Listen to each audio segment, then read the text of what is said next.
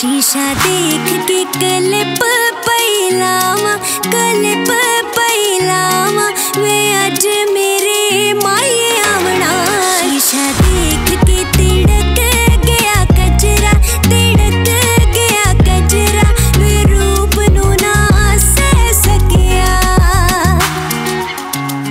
रांझा हूँ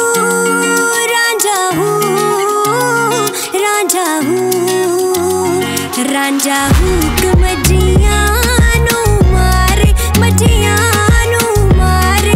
ਵੇ ਲੋਕਾਂ ਪਾਲੇ ਮੋਰ ਬੋਲਦਾ, ਤੈਨੂੰ ਜਾਣਦੇ ਬਹਾਨੇ ਵੇਖਾ, ਹੜਾ ਵੇ ਤੈਨੂੰ ਵੇਖਾ।